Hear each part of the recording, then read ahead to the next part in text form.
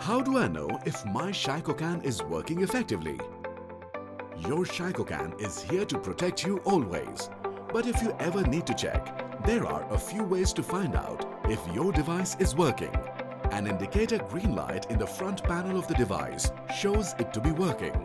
In case the device is not working, an inbuilt alarm starts to hoot with the red light at the back of the device coming on. Holding a CFL bulb or tube light in front of the device at a distance of 1 to 2 feet makes them flicker, indicating the emission of photon-mediated electrons. For more complex environments where multiple devices are installed, our trained professionals check the density of electrons using an oscilloscope. This service is available on request and is recommended.